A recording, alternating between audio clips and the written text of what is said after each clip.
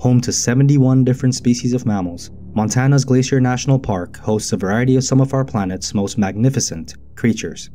Ranging from herbivores such as bighorn sheep, white-tailed deer, and moose, to predators such as wolverines, mountain lions, wolves, and of course, the mighty grizzly bear. It was these very grizzlies of Glacier that 43 year old wildlife photographer Buck Wilde had been most keen on snapping pictures of. Well aware of the potential dangers that an encounter with one could pose, Buck would always be sure to take every safety precaution necessary whenever he'd go camping in grizzly country, and furthermore knew just how much respect these massive and incredibly powerful creatures command. On the morning of October 3rd, 1992, Buck had just finished setting up camp at the Glacier Granite Park backcountry campsite. As he prepared breakfast that morning, he catches a fleeting glimpse of a small bear, followed by woofing sounds from what sounded like a much larger bear coming from the brush. Ensuring his campsite was free of food and any other potential bear attractants, Buck then quickly grabs his camera and begins following these bear tracks up a loop trail. Buck suddenly comes to a halt when he notices a blue baseball cap on the ground.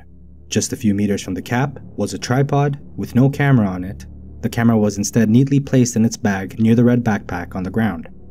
Feeling uneasy with what he was seeing, the cautious photographer then heads back down the trail for about 30 feet, and once again comes to a halt when he notices a still warm, foot wide pool of blood on the ground. Realizing that something terrible must have happened, Buck's senses then heighten thanks to a sudden surge of adrenaline, at which point he continues backing down the trail. It doesn't take long before Buck notices yet more blood on the trail, but this time there was a lot more blood, accompanied by grisly claw marks in a patch of dirt that looked as if it had been swept clean by a body. Or in other words, like someone was ragdolled all over it. With his eyes scanning for more clues of what he suspected was a brutal grizzly bear attack on a human, Buck cautiously continues down the trail, and just a few steps later, freezes on the spot when he this time notices not just more blood, but pieces of human flesh scraps of clothing, and some coins, all of which were scattered all over the ground. Noticing a trail of blood, a horrified buck equipped with bear spray, an item which had once saved his life from a charging Kodiak bear, decides to follow the trail of blood into the woods, knowing very well that this attack was recent and that there was a chance that this person was still alive and could potentially still be saved. As he continued to follow the trail of blood, it didn't take long before Buck would notice more torn up clothing, a boot, and then finally, a man lying motionless on his left side. A horrified Buck observed that his body had been mutilated from head to toe, with a large amount of flesh missing from one of his arms, as well as his buttocks. Buck quickly kneels down to check the man's pulse, at the same time noticing that the blood oozing out from him was dark, something that typically happens when someone dies. Fearing the worst when he fails to detect a pulse, Buck then realizes that the man may already be dead. But despite his assessment, and once again based on his experience and plethora of knowledge regarding bear attacks, was also still aware that this man could be saved considering the warm temperatures of his body as well as that of his blood. Knowing just how precious every passing second was at this point, Buck runs back out to the trail and heads back for his backpack to grab his coat, which he'd intended on covering the man's body with to aid in keeping it warm. About two to three minutes later, a huffing and puffing Buck would arrive back to the spot he'd found the man's body at only to see a huge smear of blood on the ground where it laid, and a trail of dark blood leading into deeper woods. It's important to note that the estimated 1,300 grizzlies at Glacier National Park are part of the Northern Continental Divide ecosystem. This is one of two large ecosystems that feature grizzly bears in this particular part of the country. The other major one being the Greater Yellowstone ecosystem, which in comparison consists of approximately just 700 grizzlies. The reason this is important and relevant to the story is because unlike the much more well-fed bears of the greater Yellowstone ecosystem, the grizzlies that inhabit the northern continental divide ecosystem have to work much harder for their food, which means that these grizzlies are particularly much more aggressive when it comes to defending a carcass, especially during hyperphagia, which is the scientific word for the period during which they fatten up for winter hibernation, the very same state that the mama grizzly was in when she attacked the man in this story. It's also worth mentioning for those that aren't aware that grizzly bears are a physical force to be reckoned with. Not only do they feature one of the most powerful bites in the animal kingdom, but they furthermore possess up to 5 inch long razor sharp claws and can reach running speeds of up to 35 miles per hour despite their massive size. Attributes which no question make these highly territorial apex predators some of the most formidable of their kind. Equipped with this knowledge, Buck wisely decides not to follow the trail of blood, and instead walks down the trail a bit and leaves his bear spray on the ground with a small note attached to it which read, Hey, get out of here, as well as instructions on how to use the bear spray in case they needed to. The thoughtful 43 year old then walks up to the Granite Park Chalet so he could alert park rangers of the incident. Upon arriving at the chalet, Buck runs into some hikers, and upon telling them about what he'd seen, he thereby advises them not to walk the trail and instead walk back towards Logan's Pass, take the Highline Trail out, and then, of course, attempt to flag down some rangers.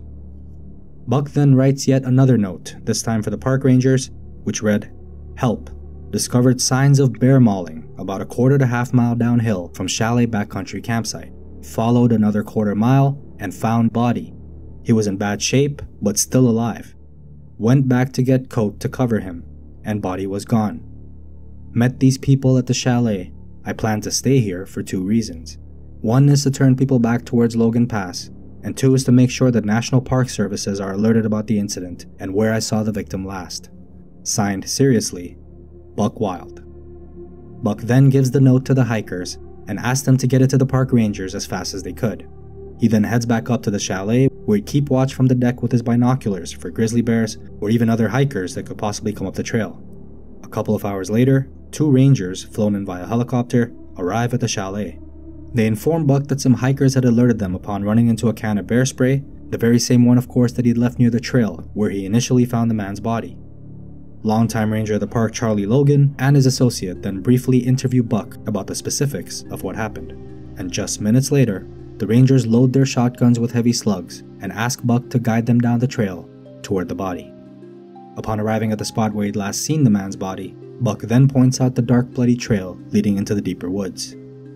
As the men cautiously follow the trail of blood, they travel just about 350 feet or so before spotting the man's body which Buck immediately noticed was clearly further fed on, as even more chunks of flesh were missing from his torso than when he'd first encountered it. The men then take note of the dirt which had been spread all over his body, which is typical grizzly carcass caching or storing behavior, and an effective one at that, as covering the carcass with dirt would help mask its scent from other predators. Knowing very well that this bear was definitely not finished and is most likely close by, the rangers then go on high alert and after jotting down some quick notes, they head back to investigate the scene where Buck had found the backpack and the camera. Upon arriving, the Rangers commence what was to be a quick investigation, and as they noted down their findings, the enormous mother grizzly suddenly shows up and immediately makes a bluff charge up the trail toward the three men, which was of course a display of intimidation in an attempt to protect her cubs, who were also not very far away behind her and visible to the men as well. With his shotgun beat on the bear, Ranger Logan thinks to himself in his mind that if this bear takes even one step closer, he'd shoot it. And as if she could read his mind, the mighty mother grizzly wisely turns around, collects her cubs, and disappears into some thick brush. It was at this point that the men realized just how dangerous the situation was. And so the trio head back to the Granite Park Chalet in order to come up with a plan. The next day arrives. The men call for a search and rescue copter, which was to arrive early in the morning, but would not show up until 11 am due to visibility risks associated with an unexpected, heavy snowfall. It didn't take long for the helicopter pilot to spot the grizzly which had been feeding on the man's carcass. He also noted the collar marking on the bear which Buck and the Rangers had told him was one of the suspect grizzly's main identifying characteristics. Logan then orders a total of six Rangers to be dispatched to retrieve the man's body a unit which would include himself, as well as the ranger he'd initially met Buck at the chalet with. Five rangers were to make their way to the body on foot, and the sixth ranger was to keep overwatch with the helicopter pilot and look out for the bear. As the five ground rangers close in on the body, the copter ranger suddenly alerts everyone as he notices the grizzly from above. He then shouts to the pilot to fly over the bears and make close passes over them to scare them away from the carcass. Despite their efforts, however, the bears were still not showing any signs that they were intimidated. Despite multiple close overhead flybys, the grizzlies would do nothing but briefly run away for a few seconds and then abruptly turn around and head back towards it. The fact that these bears were unwilling to flee from even the roaring sound of a low flying helicopter was at this point a clear indication to the rangers that these grizzlies were not going to let anything get in between them and this carcass. After multiple more close overhead flybys, the copter rangers finally succeed in scaring the bears off. And within about 20 minutes of doing so, the man's body was then loaded up into the helicopter, after which a thorough investigation would take place to try and piece together what had happened. Investigators would later conclude that the man had likely surprised the mother bear, who then neutralized him in an effort to protect her cubs. After which, of course, it would turn from a defensive attack to a predatory one. The man's body was later identified as 40 year old John Petranyi from Madison, Wisconsin. John shared a home in Madison with his father, also named John, an avid biker and a lover of jazz music. John would also spend three weeks a year exploring and venturing out into the western wilderness. On this particular year, he'd spent the first part of his yearly trip in the Canadian Rockies before making his way to Glacier. Tragically, it was later found out that the day that John was attacked and killed was in fact the last day he'd planned on staying at Glacier before heading back home to his father. It would take a total of nine days for the Rangers to find the suspect mother bear, and although it was a hard decision for them to make, they would thereafter decide to shoot and kill the mother grizzly and its cubs, stating that she was likely to prey on other hikers considering how easy of a kill John was, and feared that if they'd let the cubs survive, they too would of course inevitably learn and adopt their mother's hunting tendencies. Final reports of the incident indicated that rangers were still not 100% sure if the mother bear and the cubs they'd taken down were the culprits responsible for John's death.